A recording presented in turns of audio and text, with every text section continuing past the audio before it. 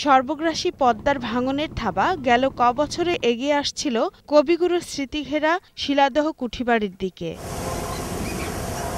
পরে সেনাবাহিনীর তত্ত্বাবধানে পানি উন্নয়ন বোর্ড, কুঠিবাড়ি ও আশপাশের জনপদ রক্ষায় একশো ছিয়াত্তর কোটি পঞ্চাশ লাখ টাকা ব্যয়ে তীর সংরক্ষণ কাজ শুরু করে। দু হাজার ষোলো সালের সেপ্টেম্বর মাসে শুরু হওয়া কাজ শেষ হবে আগামী জুনে।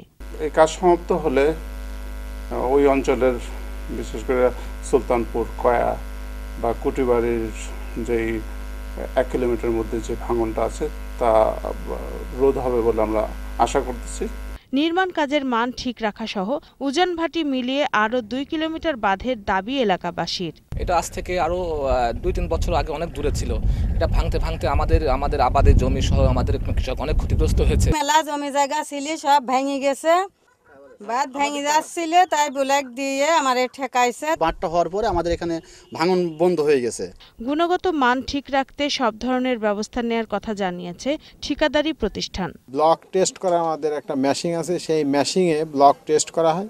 সেই টেস্টের একটা পয়েন্ট আছে সেই পয়েন্ট নির্ধারণ করে আমরা ব্লক নদীতে ফেলছি।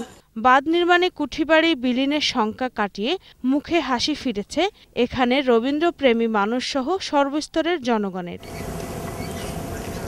রত্না জামান একুশে টেলিভিশন।